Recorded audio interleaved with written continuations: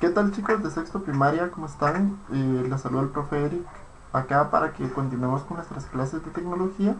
En esta unidad vamos a estar trabajando Photoshop, vamos a estar trabajando toda el área de Photoshop o por lo menos una introducción a algunos, eh, algunas herramientas que nos van a ser muy útiles.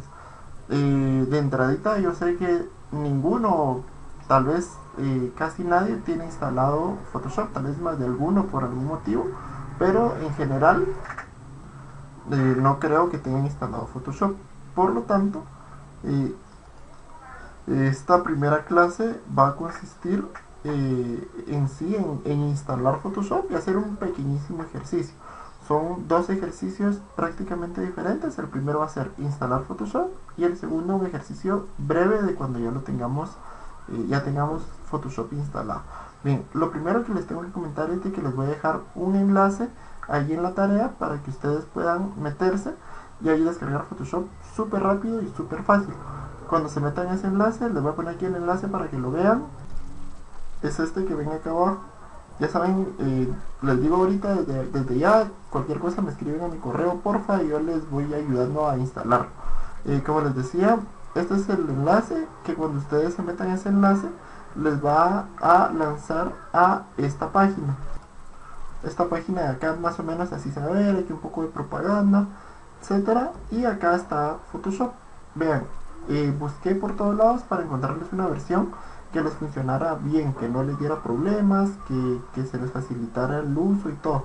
Entonces acá está eh, es esta de acá que ven y solo le dan acá en descargar cuando le dan clic automáticamente les va a salir ahí una página como de propaganda y aquí en la parte de abajo va a empezar a descargar. Ahorita les voy a enseñar.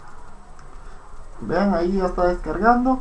Eh, yo tengo el internet más lento y aún así dice que va a tardar como 7 minutos entonces hay que esperar un poquito. Yo lo voy a cancelar porque ya lo tengo acá descargado. Bien cuando ya lo descargué no le doy clic directamente. Porque si le doy clic directamente probablemente no va a abrir sino que tengo que darle clic acá en la flechita y darle en mostrar en carpeta. Y me va a aparecer aquí la carpeta con todos los documentos que yo tenga descargados. Eh, ahí me aparecieron a mí dos de Photoshop porque lo intenté con otra eh, con otro lugar pero no funcionó bien. Entonces este que es el que el que vamos a estar utilizando dice photoshop.cs6 Nicolas y un montón de cuestiones este lo vamos a arrastrar al escritorio y ahorita les voy a dar las siguientes indicaciones. Bien acá ustedes deberían de tener un documento como este un archivo como este de tipo RAR. Es un archivo comprimido. En caso de que ustedes no lo tengan eh, aquí deberían de aparecerle así como unos libritos enrollados en caso que no lo tengan eh, se pueden meter a esta página para descargarlo e instalarlo. Es winrar.es diagonal descargas ya con eso ya ustedes ahí lo pueden descargar e instalar. Y ya van a poder trabajar con este archivo. Le dan clic derecho le dan extraer aquí y esperan un momentito. Bien cuando ya se haya extraído va a aparecernos una carpeta como esta. Simplemente le dan doble clic doble clic y ahí les va a aparecer esto no es necesario ahí fue donde yo descargué donde yo les conseguí el programa y acá donde dice CS6 les va a aparecer un el que lo único que nos interesa es este de acá el azulito. Todo lo demás no, no nos interesa. Le damos doble clic al que nos interesa y le damos en sí. Le damos en aceptar siguiente siguiente. Eh, esto no les va a aparecer a ustedes dice que ya existe porque ya lo tengo. Pero ustedes no les va a aparecer y si les aparece solo le dan que sí. Luego le dan el siguiente acá donde dice crear un el escritorio denle en el chequecito si no se les complica el encontrarlo. Le dan siguiente e instalar. Ahí va a tardar un poquito en instalar y cuando termine les va a aparecer así. Ejecutar Photoshop. Si ustedes quieren lo pueden ejecutar de una vez eso es todo le dan aquí en la X y le dan finalizar. Ya con eso ahí ya tienen instalado Photoshop. Este es para elegir el idioma en español, todos los, ahí hay varios español mexicano y todo, todos son iguales, todos los españoles que, que tienen instalados son iguales, ahí le dan que sí, y automáticamente les va a estar abriendo ahí Photoshop. Ahí tarda un poquito en abrir, hay que esperar y listo. Listo, ahí ya tenemos Photoshop instalado, ya todos van a tener Photoshop en sus computadoras para poder trabajar.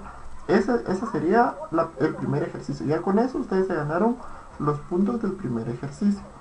Bien, ahora vamos a eh, configurar Photoshop o vamos a aprender un poquito de las partes de Photoshop y esa va a ser, eh, ahorita lo que hagamos va a ser el segundo ejercicio. Ahorita pongan mucha atención que yo les voy a explicar esta parte.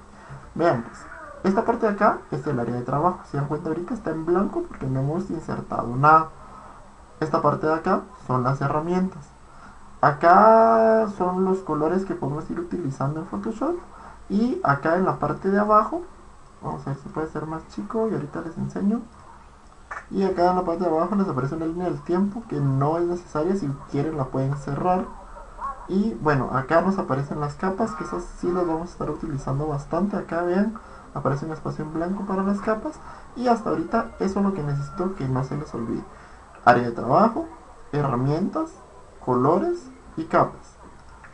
Nuestro primer ejercicio va a ser bien simple, va a ser bien sencillo.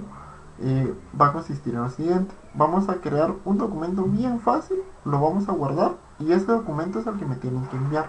Entonces por eso tienen que poner mucha atención. Lo primero que van a hacer es darle clic en archivo, le dan clic en nuevo, ahí les van a aparecer algunas características, simplemente denle en OK, no le toquen nada y les va a aparecer ahí un espacio en blanco.